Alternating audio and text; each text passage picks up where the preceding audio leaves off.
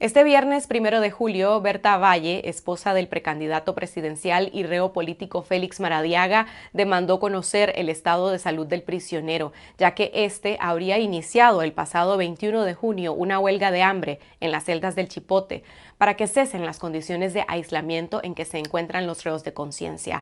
Durante la conferencia presentó además un retrato hablado para ilustrar el impacto físico y visible de las condiciones precarias en las que se encuentra su esposo y el resto de presos políticos que la dictadura mantiene aislados en el Chipote. El régimen Ortega Murillo divulgó al día siguiente, este sábado 2 de julio, imágenes del preso político durante una audiencia judicial en la que fue rechazado un recurso de apelación contra su condena. Nos enlazamos con Berta Valle para conocer su reacción ante la divulgación de las fotografías y video de su esposo. Continúa mintiéndole al pueblo de Nicaragua. No sé a qué mentira se refiere. Nosotros estamos en un aislamiento total. El sistema de eh, penal en el que estamos no permite ningún tipo de noticia al exterior. Pero, estamos viendo sus brazos, vemos su rostro. Usted, está en buenas condiciones físicas, Félix. Pero el pueblo, si, usted me, exige, cuenta... El pueblo está exigiendo que usted responda por el delito de mentir y atentar contra el pueblo y contra las familias nicaragüenses, contra el Estado de Nicaragua. porque usted continúa mintiendo, Félix? Yo siempre he hablado con la verdad. Este ha sido un juicio político. Berta, 24 horas después de tu denuncia, ayer sábado el régimen presentó imágenes de Félix preso en los tribunales. Son las primeras en más de un año desde que fue encarcelado. ¿Cómo valorás su condición y el estado de salud según esas fotos y videos? Lo que pude ver ayer es a una persona que está sufriendo tortura, Cindy, eh, a pesar de que me alegró tanto poder escuchar su voz después de más de 389 días, también me, me partió el alma. O sea, cuando yo miré su rostro, miré la forma como hablaba, sus ojos, yo miré dolor en sus ojos. Eh, yo conozco a Félix desde hace más de 20 años y conozco perfectamente eh, sus expresiones y, ayer definitivamente no era el mismo Félix. Aún así, ¿verdad? Admirable cómo siempre con su templanza inquebrantable eh, respondió a esas preguntas hostigosas, ¿verdad? Pero, pero definitivamente esas imágenes confirmaron lo que yo dije en la conferencia de prensa cuando mostramos el retrato hablado. Y a mí realmente me impresiona que el retrato es muy similar a esa imagen que miramos de Félix.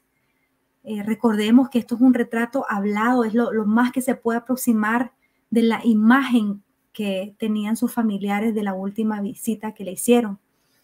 Y, y nada, yo, yo insisto en que es una muestra de la gravedad en las condiciones en las que están las personas presas políticas en Nicaragua. Tenía dudas sobre la fecha en que fueron tomadas esas fotos y el video. ¿Qué dicen los familiares que le vieron durante esa última visita el pasado 15 de junio? Yo hice un llamado, Cindy, a que creyéramos en la palabra de las víctimas. Sus familiares son las únicas dos personas que le han visto en reiteradas ocasiones, ocho para ser exactas, durante esas visitas y ellos me dijeron de que las fotos que ellos vieron circulando más la, el retrato hablado son muy similares. Quizás alguna discrepancia, digamos, en los tonos, en los colores, dependiendo si estás en una luz de oficina o si estás viendo a una persona desde la luz del exterior, desde la luz natural. Pero ellos eh, insisten que esa es la condición como ellos perciben. Eh, a Félix, ¿verdad? Y, obviamente uno tiene muchas dudas, primero porque nos sorprendió que después de más de un año lográramos poder tener una imagen eh, digital, una imagen eh, de video de Félix, pero también saber que lo, lo presentan, a mi parecer, como una forma de tratar de deslegitimar la denuncia de nosotros como familiares, ¿verdad? Presentando como tratando de desmentir lo que estamos diciendo. Eh, sin embargo, yo creo que el pueblo nicaragüense y la comunidad internacional, yo creo que las mismas personas del Estado, a través de esas imágenes, están corroborando de que las condiciones en las cuales están las personas presas políticas es ya debido a muerte. Esas 60 libras que mis familiares me han estado diciendo que, que Félix ha perdido se, fueron, se vieron reflejadas claramente a través de esas fotografías y videos que circularon a través de los medios oficialistas. Ahora, según el video, a Félix lo presentaron en una audiencia en la que fue rechazado un recurso de apelación sobre su condena y la de otros seis presos políticos, y se les ratifica la sentencia.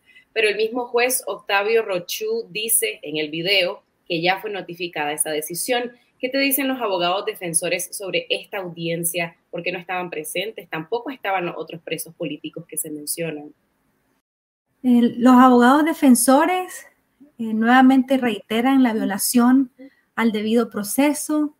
Absolutamente nadie fue notificado acerca de esta acción, no estaban enterados de lo que estaba pasando. Es más, los mismos abogados, incluso al momento que yo les pregunté acerca de la, eh, de la veracidad de esas imágenes en los juzgados, me dijeron de que la última vez de que Félix había podido estar ahí, ¿verdad? siempre sin la presencia de ellos, posiblemente hubiese sido en la audiencia, eh, en la audiencia inicial, ¿verdad? Que por eso yo mencionaba que posiblemente serían del año pasado. Entonces, también demuestra esta acción cómo hay una violación al debido proceso, que cómo impiden el derecho a la defensa de las personas presas políticas. ¿Cómo se puede constatar el estado de salud de Félix y de los demás presos políticos? ¿Cuál es la demanda de los familiares? Esa es, esa es la pregunta y la angustia con la que yo me he quedado. El hecho que lo hayan mostrado en esas imágenes a mí no me da garantía de absolutamente nada. A mí no me responde la pregunta de que si mi esposo está o no en huelga de hambre, si hizo o no huelga de hambre, como me mandó a decir, no me responde la pregunta de en qué condiciones está hoy, va a estar mañana, va a estar la próxima semana, después de este incidente, ¿no? De, de, que lo muestran de esta manera. No hay respuesta tampoco para el resto de los familiares de las personas presas políticas que insisten también en el cese de la incomunicación, que están demandando ver a sus familiares. Entonces yo creo que el hecho de que lo hayan mostrado no es suficiente. Y es más, yo admito que todavía tengo más angustia porque ahora lo que yo me pregunto es cuáles serán las consecuencias conociendo los tratos inhumanos que ya le estaban haciendo. Entonces, ¿cuál es en resumen nuestra demanda? Lo primero, Cindy, es que considero que es momento de terminar ya con esta tortura, terminar con tanta violencia, terminar con la incomunicación al mundo en la cual los tienen, incluso dicho por el mismo Félix, ¿verdad? Cuando lo cuestionaron. Cese la incomunicación, cese al, confinamiento solitario en el cual están algunas personas presas políticas, particularmente el confinamiento solitario en el cual han, estado las mujeres por más de un año, que los menores de edad puedan visitar a sus padres y a sus madres, ya que muchos de ellos tienen más de un año de no verles. El hecho que los familiares que estamos fuera del país podamos tener un contacto directo con ellos, ya sea una llamada telefónica, una carta, un dibujo, Estamos pidiendo que les permitan una Biblia. O sea, son cosas tan básicas que, hasta pedirlas suena realmente eh, absurdo. Esas son nuestras demandas en este momento, mientras ocurre la liberación incondicional de nuestros familiares, porque son inocentes y eso no nos vamos a, a cansar de repetirlo. Mientras ocurre la liberación, que puedan ver a un médico especialista privado, que puedan contactar, constatar las condiciones físicas en las cuales se encuentran. Hay personas que tienen condiciones preexistentes que no han sido atendidas. Esas son las demandas. Estamos pidiendo prácticamente un poco de humanidad, que tengan misericordia al tratar a estos seres humanos que, insisto, son inocentes. También has demandado y otros familiares de presos políticos que la Cruz Roja Internacional, algún otro organismo de derechos humanos entre al Chipote, a las demás eh, cárceles del país para valorar in situ la condición de los presos. ¿Cuándo fue la última vez que esto ocurrió? eso que me preguntas, Cindy, es sumamente importante, porque una de las alternativas que damos para solucionar esta incertidumbre, esta angustia que estamos viviendo nosotros como familiares, es precisamente que el régimen permita la entrada de organizaciones como la Cruz Roja Internacional, como el Grupo de Expertos de Naciones Unidas, como la CIDH, que conocen el valor de la vida y los derechos humanos, a que constaten que ellos se encuentran bien y que no, no están siendo torturados después de un incidente como este. Y por otra parte, también mencionar que la última vez que nosotros tuvimos conocimiento de que la Cruz Roja Internacional tuvo un contacto con nuestros familiares fue precisamente durante el periodo en el cual estaban desaparecidos. Estamos hablando que eso fue en el mes de la captura de ellos, en junio del año pasado. Desde entonces no sabemos si, quiénes más han tenido acceso. Yo creo, y puedo, puedo decirte, yo creo que nadie más ha tenido acceso a las celdas del chipote. Entonces, eh, esa es la urgencia, ese es el llamado que tenemos y qué reacciones ha causado entre los familiares de los otros reos de conciencia lo ocurrido, la revelación de estas fotos, ese intento de la dictadura de deslegitimar las denuncias que han hecho ustedes sobre la salud de sus seres queridos. Una de las cosas que yo le doy gracias a Dios es que en el camino uno se va encontrando eh, gente que, que lo apoya, que lo anima y yo sentí eso ayer cuando las organizaciones de familiares de personas presas políticas sacaron un comunicado para respaldar precisamente la denuncia que, estábamos haciendo nosotros como familiares de Félix. Y al mismo tiempo, si pueden leer ese comunicado, las familias también eh, comentan que están viviendo la misma situación. O sea, la reacción de los familiares al ver esa fotografía es, así está mi familiar. Y, todos comenzamos a compartir información, vieron, así está.